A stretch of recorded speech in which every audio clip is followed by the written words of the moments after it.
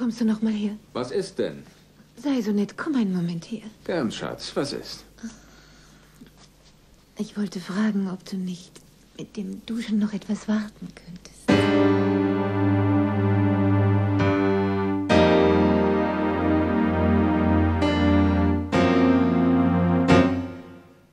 Ich bin verschwitzt. Das weiß ich